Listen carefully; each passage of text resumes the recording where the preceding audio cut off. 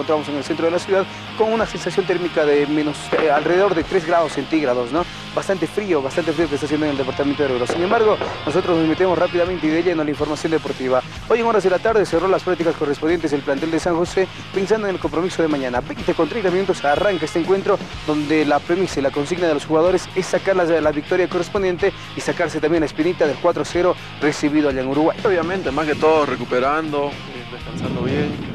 Sabemos que venimos una seguidilla de partidos importantes y bueno, que jugamos recién el día domingo y que ya miércoles nos toca jugar con Peñadol.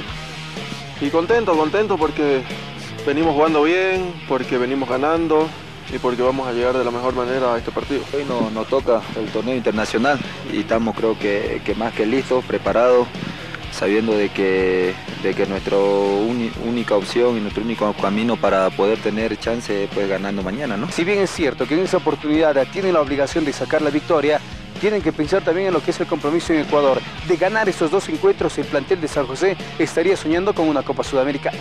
Sí, muy bien. Eh, cuatro partidos seguidos no se, gana, no se gana todos los campeonatos. Sabemos que aquí en Bolivia es un poco complejo ganar cuatro partidos seguidos, pues esto quiere al calor, esto a la altura y el trajín de los partidos con los que hemos tenido copas también, también suma, ¿no? Pero todavía no hemos ganado nada y queremos ganar el día miércoles un partido de copa para, para poder tener alguna chance de una sudamericana.